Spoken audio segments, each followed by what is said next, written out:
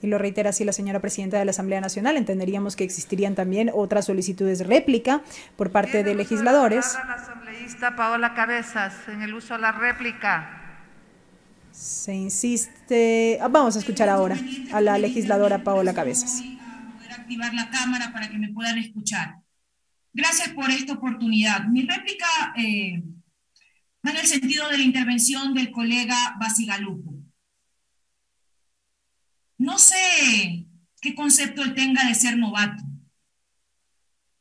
Creo que su sobrada experiencia política eh, no le ha, o, en su sobrada y dilatada carrera política, no ha aprendido que procedimientos como estos no se pueden utilizar para depurar partidos. Aquí ustedes debieron como movimiento político haber tomado una acción interna. Es más, considero que el tema del señor Recalde nunca debe haber venido aquí. Porque quienes eligen candidatos, quienes eligen sus cuadros para ponerlos al servicio del pueblo ecuatoriano son los partidos. Entonces empiecen haciendo mea culpa como organización política antes de que usted ahora nos haga responsables a la bancada de UNES sobre una decisión que empezó en su partido. Partamos por eso. Ahora sí tenemos el poder.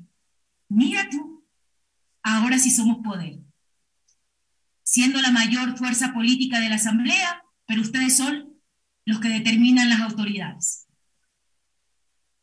Somos la mayor fuerza política dentro de la Asamblea Nacional, pero son ustedes los que cogobiernan. Somos nosotros la mayor fuerza política de la Asamblea Nacional, pero son ustedes quienes apoyaron la ley del gobierno. Y ahora, en una manipulación inescrupulosa, quieren endilgarnos un hecho que, como usted lo ha dicho, y ahí sí le tomo la palabra, el comité de ética no pueden utilizarlo para vendetas políticas. El comité de ética no pueden utilizarnos para lavarse la cara el comité de ética no puede ser utilizado para odios. Y tenemos una representante dentro del comité de ética que ha hecho un trabajo apegado a la ley, que dentro del Pleno de la Asamblea Nacional ha hecho las argumentaciones correspondientes y que en torno a ello vamos a votar. Tiene un minuto, señora asambleísta. Gracias, presidenta. Con esto termino. Aquí no caben manipulaciones. Aquí no caben faltas de respeto porque creo que aquí, si alguien es responsable de lo que hoy vaya a determinar la Asamblea Nacional, son ustedes, porque debieron resolverlo en su partido. Si tienen alguna vendetta política, resuélvanlo en su partido. La Asamblea no puede prestarse, presidente colegas legisladores, para persecuciones políticas internas de los partidos. Sí, seguramente seremos novatos por el punto de vista del señor Basigalupo. Pero sí, tenemos la suficiente ética y moral para saber cuál es el lugar que ocupamos en esta Asamblea Nacional.